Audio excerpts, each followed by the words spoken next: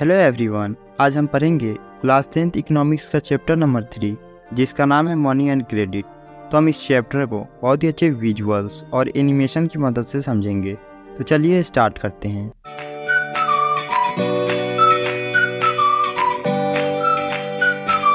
सबसे पहले हम जान लेते हैं वाटर सिस्टम क्या होता है। A system in which goods are directly exchange without use of money यानी बिना पैसे का यूज़ किए। सामान को डायरेक्टली एक्सचेंज किया जाता है तो इसी को बार्टर सिस्टम बोला जाता है। अब हम जान लेते हैं डबल को ऑफ़ वांट क्या होता है।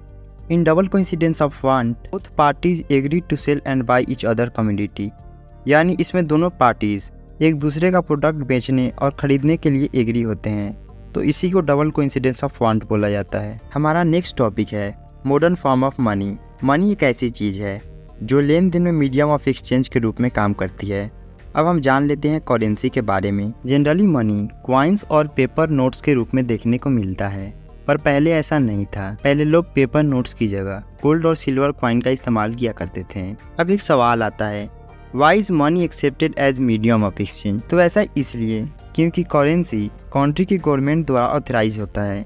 इंडिया में रिज़र्व बैंक ऑफ़ इंडिया यानी आरबीआई करेंसी नोट्स जारी करता है। हमारा अगला टॉपिक है डिपॉजिट विथ बैंक बैंक दूसरा फॉर्म है जिसमें लोग पैसा रखते हैं, क्योंकि बैंक में जमा पैसा सुरक्षित रहता है और साथ में उस जमा पैसे का उनको इंटरेस्ट भी मिलता है। बैंक में जमा किया हुआ पैसा को डिमांड पे निकाला जा सकता है तो इसी को डिमांड डिपॉजिट कहा जाता है। अब हम जान लेते हैं चेक क्या होता है। चेक एक पेपर है जो बैंक को कुछ अमाउंट पे करने का निर्देश देता है तो चेक की मदद से ट्रांजैक्शन बिना कैश का यूज़ किए हो जाता है।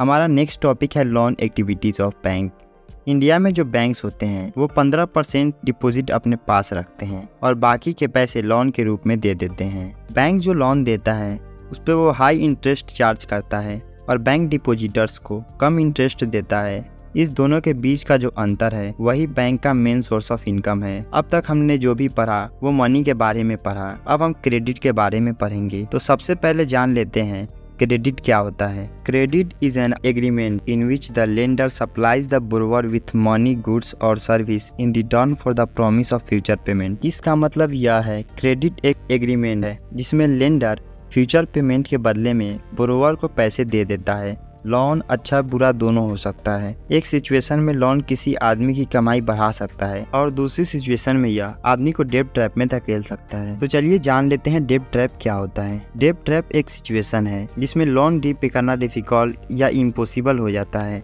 यह मेनली हाई इंटरेस्ट के कारण होता है। अब हम जान लेते हैं टर्म ऑफ़ क्रेडिट क्या होता है। Term of credit is a set of condition, under which a loan is given.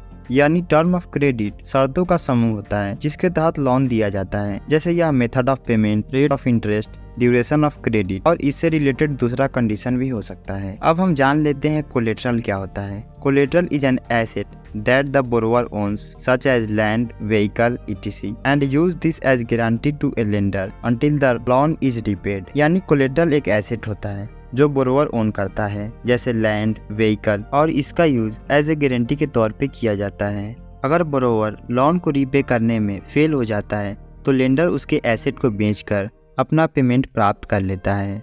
हमारा नेक्स्ट टॉपिक है credit sources in India credit sources दो टाइप्स का होता है। पहला है फॉर्मल सेक्टर और दूसरा है इनफॉर्मल सेक्टर तो सबसे पहले हम फॉर्मल सेक्टर के बारे में जान लेते हैं। जब किसी बैंक या कोऑपरेटिव से लोन लिया जाता है तो ये फॉर्मल क्रेडिट होता है। Reserve Bank of India formal sector के फ़ंक्शन को सुपरवाइज करता है और साथ में बैंक समय समय पर जानकारी आरबीआई को देता है कि वह किसको लोन दे रहा है और कितने इंटरेस्ट पे दे रहा है। फॉर्मल सेक्टर से जो लोन मिलता है, वो लो इंटरेस्ट रेट पे मिलता है। अब हम जान लेते हैं इनफॉर्मल सेक्टर के बारे में। जब किसी मनी लेंडर रिलेटिव या फ्रेंड से लोन लिया जाता है तो ये इनफॉर्मल क्रेडिट होता है। इनफॉर्मल सेक्टर को सुपरवाइज करने के लिए कोई ऑर्गेनाइजेशन नहीं होता है।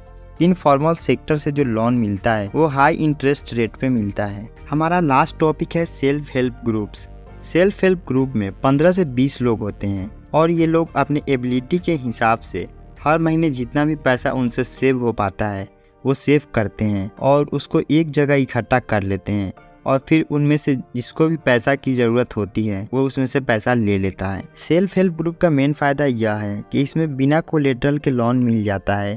हमारा ये चैप्टर यहीं पे ख़त्म होता है। अगर आपको ये वीडियो अच्छा लगा हो तो इस वीडियो को लाइक कर दें और हमारे चैनल को ज़रूर से सब्सक्राइब कर लें।